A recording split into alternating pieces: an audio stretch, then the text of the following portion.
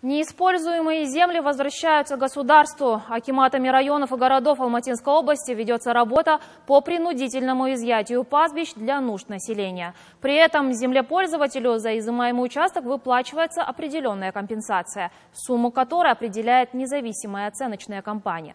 В Алматинской области около 80 тысяч гектаров земли уже возвращено в госсобственность. Более подробно расскажет мой коллега Жандос Назарбаев.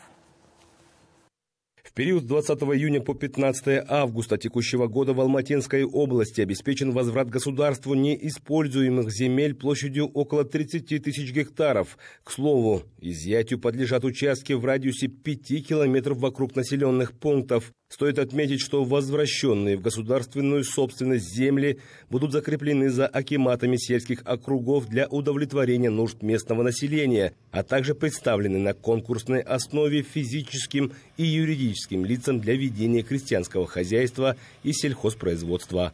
Земельный фонд Алматинской области составляет 10, 10 миллионов 500 тысяч гектаров земель, том числе 4,2 миллиона земли сельскохозяйственного назначения, из которых 457 тысяч гектаров э, пашни, э, а также 3,5 миллиона гектаров пастбищных угодий.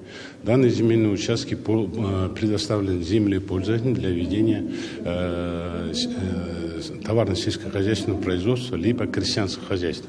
Кроме того, в земельных запасах у нас имеются 2, 2 э, миллиона 500 тысяч гектаров земель в государственной собственности, которые мы имеем возможность предоставить вновь организуемым э, крестьянским хозяйствам. В регионе действует более 40 тысяч хозяйствующих предприятий. 113 субъектов из них на площади порядка 370 тысяч гектаров, согласно приказу Минсельхоза страны, подлежат проверке. На сегодняшний день уже проведено 28 проверок, выдано 17 предписаний. Ответственными государственными структурами также установлено 584 субъекта, которые занимают 1 миллион 352 тысячи гектаров земли. При этом более половины из них не имеют необходимого поголовья скота.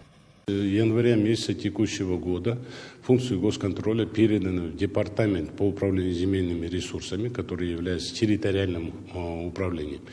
В настоящее время выданы все уведомления недобросовестным землепользователям. По мере формирования документов все материалы будут переданы в Департаменты государственных доходов соответствующих районов для 20-кратного повышения земельного налога. Стоит отметить, что земельный вопрос находится на особом контроле Акима Алматинской области, и работа по обеспечению возврата неиспользуемых земель в госсобственность в регионе будет продолжена. Жандос Назарбаев, Бигжан Кенджибай, телеканал ЖТСУ, Алматинская область.